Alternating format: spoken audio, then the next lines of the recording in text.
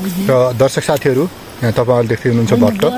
र आज हामीले यो बाँझो खेतमा भट्ट डोब्दैछौँ। यहाँ तल्लो भाग तपाईँहरूले देख्न सक्नुहुन्छ। अत्यन्तै झार छ घाँस छ। र यस्तो यो खेतहरू अब के छ त भन्दाखेरि बिस्तारै बाँझो हुँदै गइरहेको छ। अब चाहिँ मान्छेहरूले ती खेतहरूलाई अब फाइदा नहुने हुँदा खेतालाहरू नपाउने हुँदा धान रोप्नलाई छोडिसक्नु भएको छ। त्यो ठाउँमा अब अत्यन्तै सजिलो तरिकाले हामीले धान र योभन्दा तल मैले धान छरेको छु डाइरेक्ट। यसमा मैले चाहिँ मास भट्टमा गएको छु। किनभने मेरो उद्देश्य के हो त भन्दाखेरि धानभन्दा पनि हाम्रो यो पहाडी क्षेत्रहरूमा मास भट्टलाई हामीले जोड दिनुपर्छ भनेर मैले यो दुई तानमा लगभग एक पाथी मास मैले चाहिँ यहाँ लगाउँदैछु। र यसरी मास भट्ट लगाउँदाखेरि हामीलाई धेरै फाइदा हुन्छ। र हजुरहरूलाई जिज्ञासा हुनसक्छ यस्तो बाँझो जमिनमा कसरी मास भट्ट फल्छ भन्ने जिज्ञासा हुनसक्छ। यो झार अब बिस्तारै मर्दैछ होइन? पहिला यो झार यस्तै किसिमको थियो। र पहिला यो यो झार पनि यस्तै किसिमको थियो। र यसलाई हामीले चाहिँ नि र हर्बिसाइडको प्रयोग गरेर यसलाई चाहिँ नियन्त्रण गरेका छौँ। धानमा भन्दा मास भट्टमा धेरै सस्तो पर्छ खेती गर्नको लागि। यो गरामा हेर्नुभयो भने मैले मास डाइरेक्ट छरेको हो होइन? हामीले यसलाई डोब्न पनि पर्दैन। डाइरेक्ट छरेको हो मास पुरै उम्रिसकेको छ हेर्नुहोस् है। मास उम्रिसकेको छ। यहाँ चाहिँ हजुरले राम्रोसँग देख्न सक्नुहुन्छ। मासहरू ठुल्ठुलो। भइसकेको छ यसरी उम्रिसकेको छ? र यसरी हामीले यसलाई डोब्नु पनि परेन। र धान जस्तो यसलाई उमार्नलाई पानी मिलाउने पानी लाउने अथवा यसलाई हेरिराख्नु पर्ने कुनै अवस्था हुँदैन। र अर्को फाइदा यो मासमा के हुन्छ त भन्दाखेरि हाम्रो यो आठ सयदेखि सय र हजार रुपियाँ पाथी बन्न जान्छ आठ सयदेखि हजार रुपियाँ पाथी मास बन्न जान्छ र हाम्रो धान दुई सय रुपियाँ पाथी पर्छ जम्मा। दुई सयदेखि दुई सय पचास। र मासलाई अब अरू हामीले यसमा केही पनि गर्नु पर्दैन डाइरेक्ट मास फल्छ भने धानलाई चाहिँ हामीले के गर्नुपर्छ भन्दा पानीहरू त्यहाँ जस्तो मैले त्यो तल्लो खेतमा लगाएको छु नि त्यहाँ तल्लो खेतमा लगाएको छु। त्यहाँ तल हेर्न सक्नुहुन्छ। अब हरियो हरियो हुँदै चाहिँ गइरहेको छ।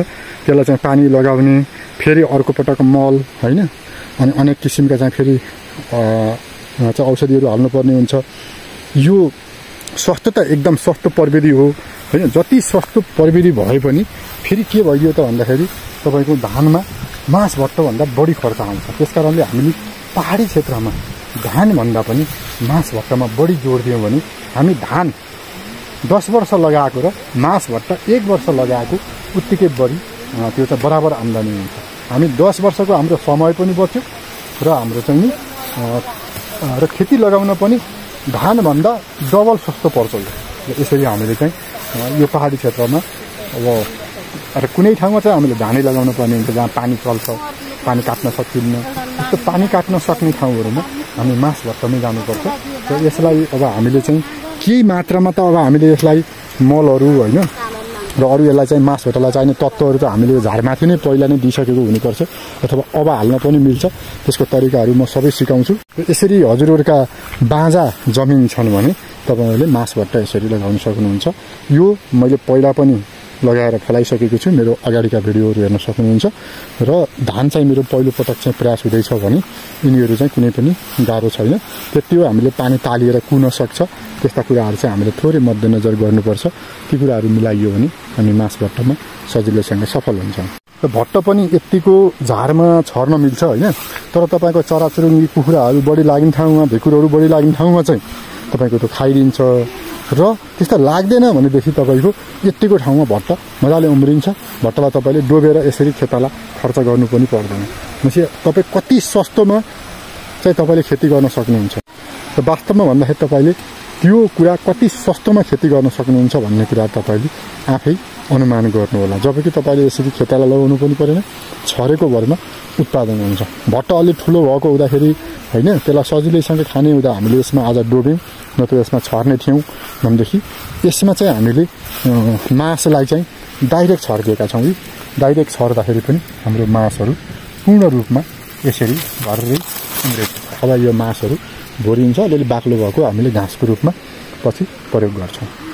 र दर्शक साथीहरू यसरी हजुरहरूका पनि खेत बारीहरू बाँझा भएका छन् भने तपाईँहरूले झार मारेर मासबाट छर्न सक्नुहुन्छ।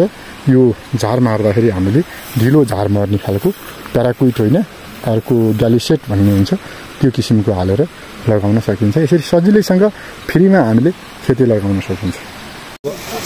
अब हजुरहरूले यहाँ हेर्न सक्नुहुन्छ। उहाँहरूले कसरी डोब्नु भएको छ। हामीले यसमा डाइरेक्ट छरेर पनि हुन्थ्यो भने अब यहाँ हाम्रो भाउजूहरूले यसरी चाहिँ डोब्नु भएको छ।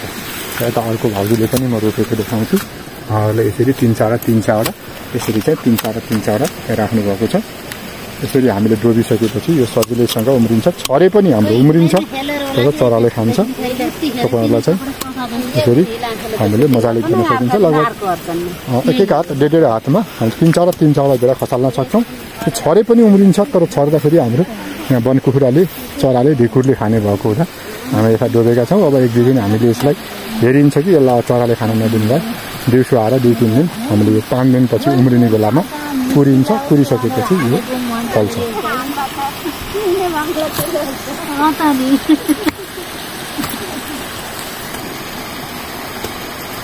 यो भिडियोलाई हजुरहरूले आफ्नो घर परिवारलाई सेयर गर्नु तपाईँहरूका पाखा पखेरा गरै चाहिन्छ भन्ने हुन्न। पाखा पखेरा जस्तो ठाउँहरू भए पनि हुन्छ।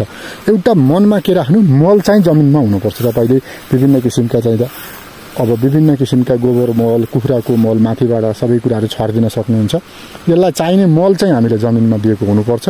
तर तपाईँहरूको झार भयो गोड्ने कसरी होला खन्ने कसरी होला यो चाहिँ अब खनिएन भने कसरी चाहिँ खेती हुँदैन भन्ने तपाईँहरूका ती कुराहरू छन् भने झार आफै चाहिँ मर्दै जान्छ कमल हुँदै जान्छ जरा कुदै जान्छन् भित्र गडेउला आफै उत्पन्न हुन्छन्। र त्यसपछि त्यो सजिलैसँग फल्छ र फलिराखेको पनि छ। र यो भिडियोलाई जतिसक्दो आफ्नो घर परिवारलाई सेयर गरेर बाँझा जमिनहरूमा यो किसिमले खेती गर्न सकिँदो रहेछ। मास भट्ट धानहरू भनेर तपाईँहरूले सिकाउनु होला। भिडियोलाई सेयर गरेर जति सक्दो तपाईँले सेयर गरिहाल्नुहोस् र सेयर गरेर सबैलाई यो जानकारी दिनु होला।